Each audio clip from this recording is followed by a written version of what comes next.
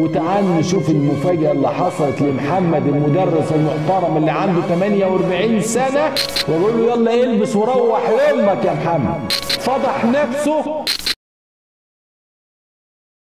أهلا بكم. أهلا بكل مشاهدي قناة ساعة مع حنفي. تعالوا نشوف الجريمة دي اللي حصلت في محافظة فيوم. محافظة الفيوم محافظة قريبة من العاصمة القاهرة. محافظة بتنسب إلى الصعيد لكن هي أكثر قربا لوجه بحر. الفيوم محافظة ليها طابع خاص. كان زمان الجماعة اللي يحبوا يتفسحوا يقول لك نروح الفيوم نشوف السواقي نروح هناك الأماكن الترفيهية أو بحيرة قارون. طول عمرها الفيوم محافظة منفتحة لكن في الفترة الأخيرة زادت فيها الجرائم بشكل غريب. تشكيلات كبيرة عصابية قضايا آداب غريبة الشكل. تبادل زوجات في الفيوم. راجل بيخطف مراته وحماته وولادها وولاده وياخدهم رهاين في الفيوم. اهدى. النهارده قضية لمدرس. قم للمعلم وفه التبجيل. كاد المعلم أن يكون رسولا هو ده المعلم. المعلم ده اسمه محمد 48 سنة يعني مش صغير. ومتجوز لكن نعمل إيه لما يكون الراجل عينه فارغة راجل لا بيعرف حيا ولا خشى ولا خوف من ربنا. والعوذ بالله. أعجب بواحدة عارفها إنها مطلقة. وإحنا عارفين نظرة المجتمع للمطلقة إنها واحدة سهلة وواحدة ممكن الوصول ليها بكل أريحية.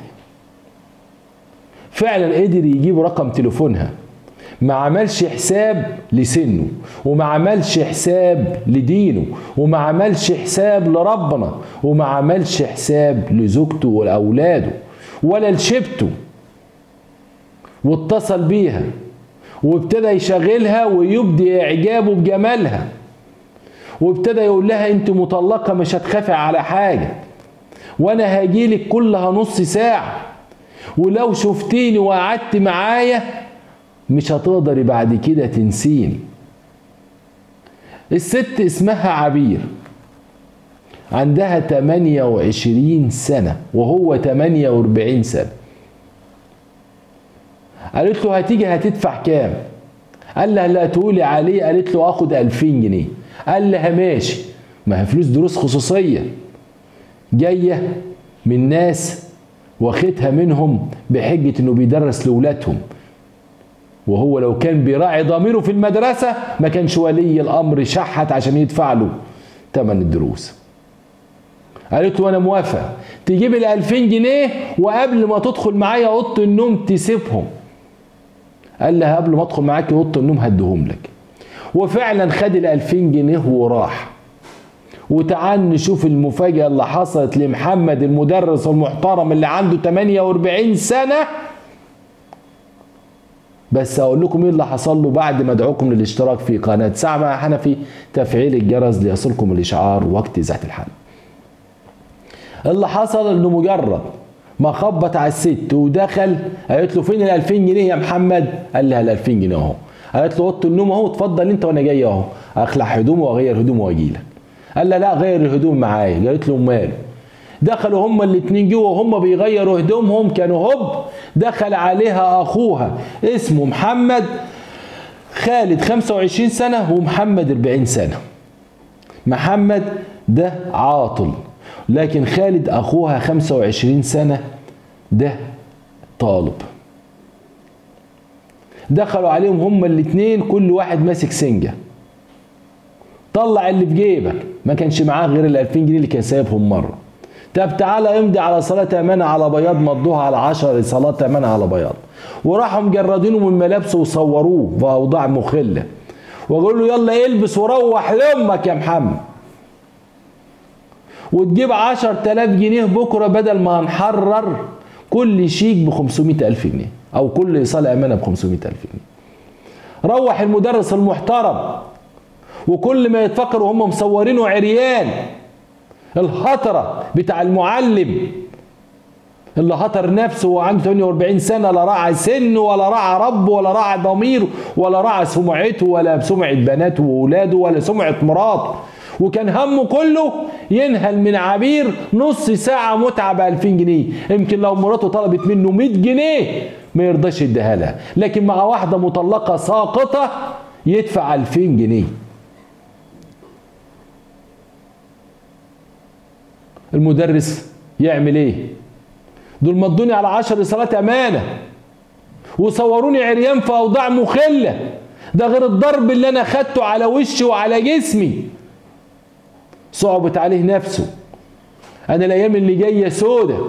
ما دام سودة بسودة أروح أبلغ عن نفسي.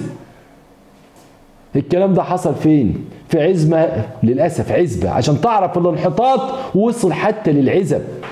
اسمها عزبة محروس. تبع مركز سنورس محافظة الفيوم. تخيلوا عزبة يعني قرية يعني عادات وتقاليد ودين وأخلاق. لكن حتى القرى ابتدت تسح يعني مش عارف أقول إيه. القرية ابتدت تعاني من نفس الأمراض اللي بتعاني منها المدينة دلوقتي. ما بقاش في فرق. كان زمان الشاب لما يجي يتجوز يقول راح أخد من القرية. يعني العادات والتقاليد والرجولة. دلوقتي قرية فيها ست بتبيع جسدها ب 2000 جنيه مطلق. واللي بيساعدها على كده أخوها وواحد صاحبه عاطل. اخوها خالد وواحد اسمه محمد. كل يوم والتاني تصيد واحد يدخلوه يخلعوه يصوروه يمضوه ويفضلوا يبتزوه. المدرس راح مبلغ رئيس مباحث النورس تم القبض على عبير قالت أيوه وتم القبض على خال محمد اللي هو العاطل. الصور فين؟ وايصالات الأمانة فين؟ وكانوا واخدين منه 10000 جنيه. قالوا مع محمد مع خالد خالد ده هربان اللي هو أخوه. لكن الأخت اعترفت اعترافات تفصيلية والصور على الموبايل بتاع الشخص الثالث محمد. وكله معترف باعترافات تفصيلية وقالوا هو مدرس مش محترم. ولما غلبت منه جات له 2000 جنيه عشان يقول لها بلاش ويستخسر لكن لقيته جايب ال 2000 جنيه وهو جاي. فبلغتنا فقلنا لازم نأدبه عشان ما يعملش كده. المفروض المدرس يكون قدوة. إحنا ما عملناش كده عشان نبتزه. إحنا عملنا كده عشان نأدبه ونعرفه إن بنات الناس وزوجات الناس حتى لو كانت مطلقة فليها عرض وشرف تخاف عليه. ده بيدخل بيوت يدي دروس والناس بتستقبله ويقول لك مدرس محترم. لما يبص للستات بالشكل ده قلنا نعلمه درس ما ينسوهوش العمر كله. لكن فوجئنا إنه بلغ عنا وكشف سره وهتك عرضه. وفضح نفسه لأن القرية كلها عرفت إن الأستاذ محمد صوروه عريان وبيدفع 2000 جنيه لواحدة مطلقة عشان يمارس معاها الرذيله فضح نفسه وكل همه إن محدش يسحب منه ويستدرج منه الفلوس. شفتوا إحنا وصلنا لقد إيه؟ هنقول إيه؟ لله الأمر من قبل ومن بعد. أشكركم.